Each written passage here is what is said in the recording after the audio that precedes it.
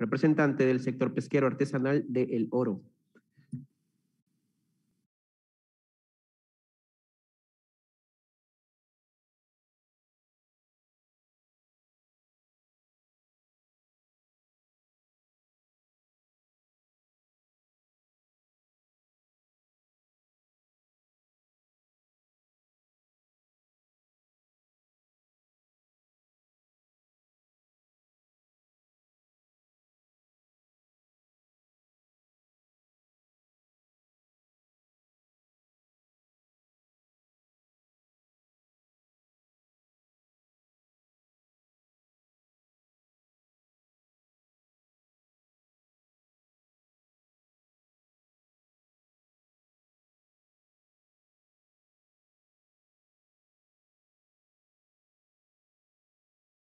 Tiene el uso de la palabra la señora Mariana Benítez Cabrera, representante del sector pesquero artesanal del oro. De igual manera, solicitamos muy gentilmente limitar su intervención a tres minutos. Muchas gracias.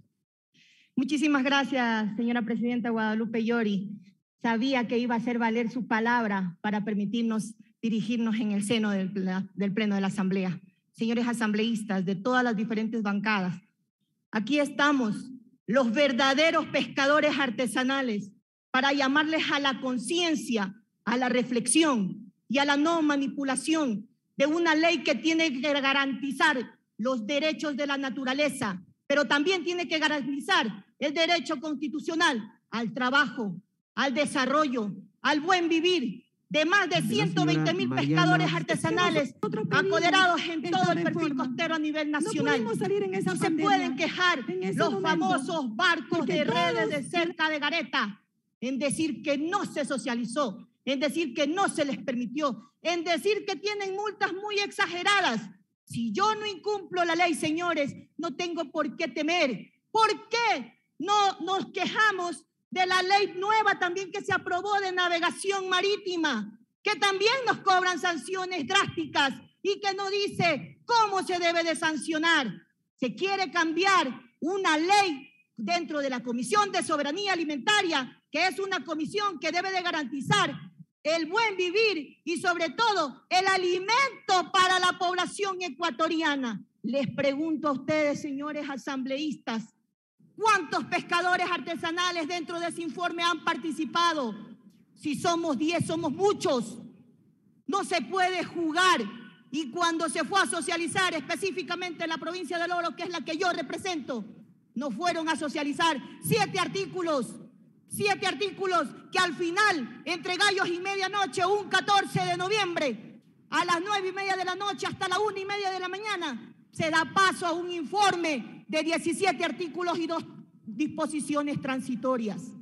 ¿Acaso nosotros somos burla de una comisión? Si se nos dijo que eran siete artículos, tenía que haberse pasado el informe con siete artículos. Sin embargo, claro, porque en esos siete artículos se hablaba de cinco millas permitirle a los barcos de redes de chichorreros. Sin embargo, hoy ya no se habla pues de cinco millas, se habla de la zona de desarrollo, de, de zonificación y no sé qué cosas más. Y que deben de permitir el desarrollo de la flota artesanal. Con todo respeto, no se puede hablar de desarrollo cuando se va a sobreexplotar los recursos. No se puede hablar de desarrollo cuando se está hablando que se quiere enviar a la pesca que sirve de consumo para harina de pescado. No se puede hablar de desarrollo cuando se atenta el derecho al trabajo de hombres y mujeres. No se puede hablar de atentar contra la soberanía alimentaria cuando somos una población que garantizamos la alimentación local. No nos pueden ir arrebatando el derecho, no nos pueden ir arrebatando la voz y un asambleísta decirnos que no le podemos decir qué hacer el pueblo los puso aquí y ustedes se merecen al pueblo. Y si el pueblo les dice que están equivocados, lo deben aceptar.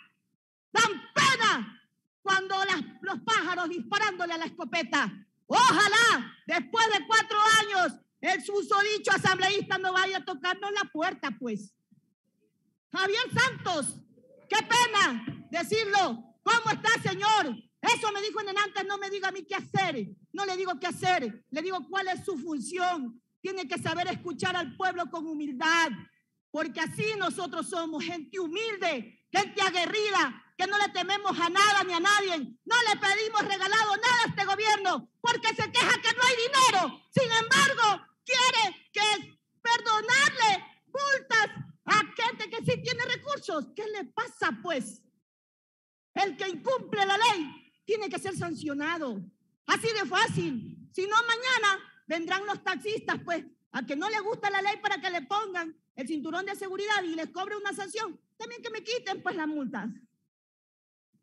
Señores, seamos conscientes y coherentes. Hablan del transbordo. Si yo cojo, soy un barquito pequeño, como lo dicen ellos, ¿para qué quiero hacer transbordo? Si yo cojo poca pesca, ¿para qué quiero hacer la harina de pescado? Si yo cojo poquita pesca y no infringo la ley, ¿por qué quiero que no, me, no me hagan, no me tomen infracciones? ¿Acaso somos tontos? ¿Acaso ustedes, compañeros asambleístas, y perdónenme que me tome el atribuimiento de decirle compañeros, porque son gente del pueblo también?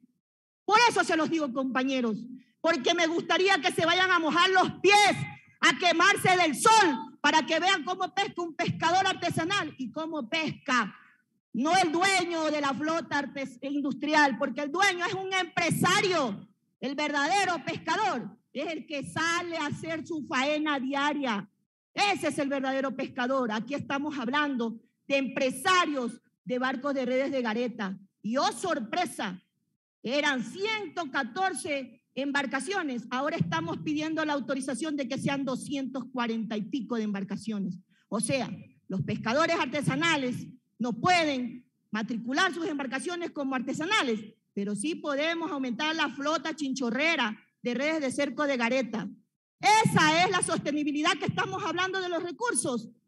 Perdón, estamos equivocados. Les pedimos a ustedes, señores asambleístas de las diferentes bancadas, no se sienten a la balanza del verdadero pescador artesanal. Solo vayamos a la realidad del entorno como lo hizo en la vez anterior la asambleísta María, María, Cuesta, algo así. Ella fue una de las pocas asambleístas que se metió al manglar, que fue al mar, que fue disparada incluso por los tiradores que tienen también esta flota. Esas son las realidades que pasan y no nos pueden venir a decir que pobrecitos no tienen los recursos para poder sustentar a sus familias. Falso. 240 y pico de embarcaciones no pueden estar por sobre encima de los derechos de 120 mil pescadores a nivel nacional. Y qué pena hablar mal de la dirigencia. Yo soy parte del Consejo de Administración de la Federación Nacional. Y estoy aquí porque he sido también parte de la zona de reproducción de esos pescadores que cuidamos y amamos la naturaleza porque nuestra tecnología más grande son nuestros oídos, nuestras manos, nuestra boca y nuestra nariz. Esa es nuestra tecnología. Y si quieren que nosotros nos desarrollemos, como también me lo hizo la propuesta la señora presidenta de la Asamblea, le puedo decir, nosotros no somos conformistas, señora presidenta, somos preservadores de los recursos y nos conformamos con lo que Dios y la naturaleza nos da. Y eso le pedimos no queremos nosotros ponernos ni winche, ni macaco, ni tener una embarcación de 200, de 300 metros de lora, ni tampoco tener un equipo tecnificado ni mecanizado. No, porque no queremos después tener que llorar lágrimas de sangre cuando no haya nada que comer, porque a eso vamos a llevar. Si esas 240 embarcaciones pasan a trabajar dentro de la zona de, reproducción de las especies, Simple y sencillamente vamos a ser los depredadores y los responsables de que no tengamos pan para hoy y hambre para mañana. Muy buenas tardes a todos.